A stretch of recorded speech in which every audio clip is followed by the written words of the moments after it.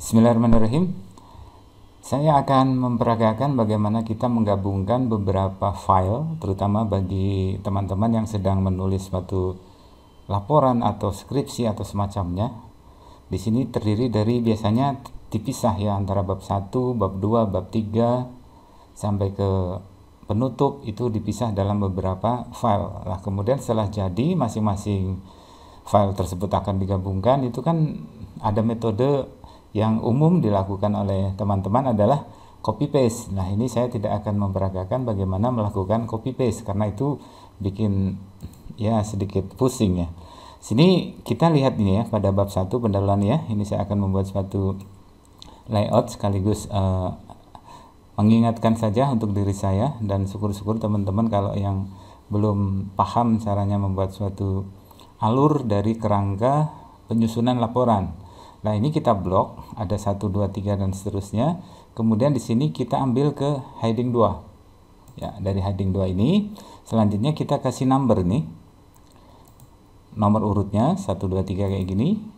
Nah, selanjutnya ini untuk marginnya kita pepetkan saja seperti ini. Kemudian ini sebagai misal ini saya akan tuliskan ya untuk demo saja.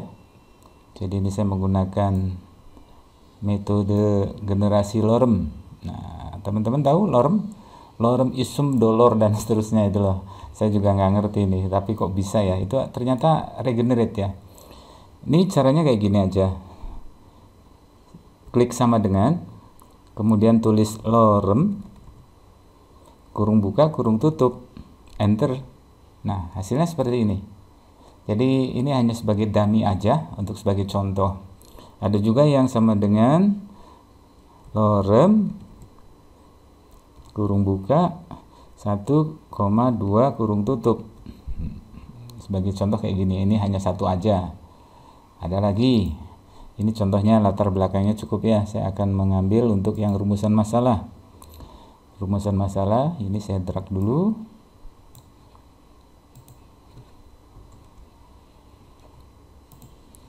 Dengan teknik yang dimiliki oleh Microsoft. Jadi Microsoft itu luar biasa kerennya. Cuma kita aja sendiri yang uh, tanyanya aja nggak ngerti. Tapi apalagi apa namanya ya yang dimau ya. Jadi yang ditanyakan aja nggak ngerti. Tapi ternyata banyak sekali yang sesuatu yang tidak kita ketahui. Contohnya kayak gini nih. Kita nulis sama dengan run RAND kurung buka kurung tutup. Nah, ini sudah ada beberapa mockup tulisan yang nanti akan bisa di replace. Ya, ini hanya sebagai dummy aja. Oke. Terus kemudian ada lagi yang kayak gini. Ini untuk pengenalan dulu ya teman-teman. Ini nanti silahkan untuk kodenya bisa dilihat pada kolom deskripsi. Ya untuk pengetahuan kita aja lah. Sama dengan run titik old all kurung buka kurung tutup.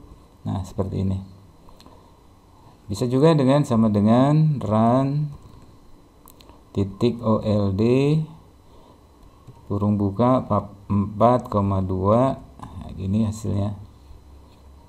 Dan seterusnya ya. Nah setelah kemudian ini kita simpan. Nah sebagai contoh nih setelah bab 1, bab 2, bab 3 selesai kita kan akan menggabungkan menjadi satu. Nah caranya adalah kayak gini. Masukkan pada halaman yang paling akhir seperti ini pada bagian kursornya ini maksud saya. Nah, selanjutnya klik pada layout.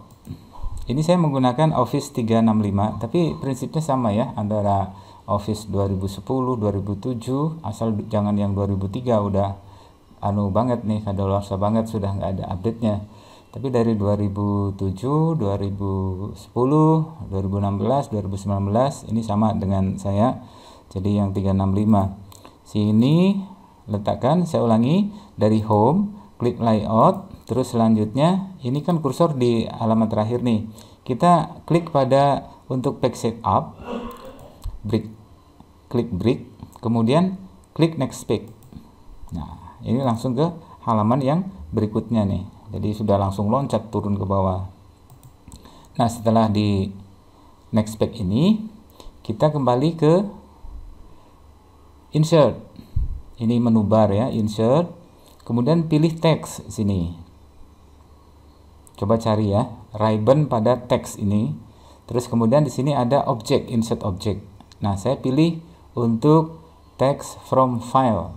Ya, jadi kita buka ini folder kita. Sebagai contoh ini, bab 2 ya. Insert. Nah, ini udah sampai nih. Bab 1, bab 2, bab 1 kan? Kemudian bab 2 gitu ya. Kemudian kita masukkan lagi nih. Pastikan sini untuk layout, kemudian break, nggak usah di enter ya, langsung aja pada yang terakhir nih. Saya ulangi kayak gini terakhir, layout, break, next page. Nah ini udah otomatis langsung ke halaman berikutnya. Selanjutnya apa teman-teman? Klik in, insert, ya betul, pinter. Nah dari sini teman-teman pilih apa tadi? Teks, iya betul. Setelah teks ini pilih objek. Nah, dari objek ini pilih text from file. Oke ya. Baru ambil browser pada folder bab 3. Nah, layoutnya seperti ini. File, print, layoutnya. 1, 2, 3 semua sudah menjadi satu halaman. Kemudian tinggal kita save as ya. Jadi jangan di save tapi di save as karena bab 1 2 3 kalau ada revisi kan jadi nggak usah ngeprint semuanya ya. Jadi cukup ambil bab 1 2 atau 3 yang sesuai dibutuhkan. Nah setelah di save as ini kita ambil dari ini all lah. Contohnya semua all. All page. Atau contoh inilah laporan kualitatif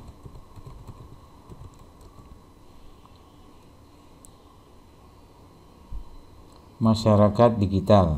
Nah, kebetulan saya orang digital jadi saya bikinnya laporan tentang digital ya, masyarakat digital. Karena apa? Digital ini memang udah zamannya oke okay ya. Sudah kita harus mengikuti. Ya, jadi jangan sampai kita itu e, merasa ah aku gaptek. Itu biarkanlah. Jadi zona nyaman ini tinggalkan karena sekarang ini mau atau tidak mau kita harus mengikuti perkembangan zaman era 4.0 atau era digital.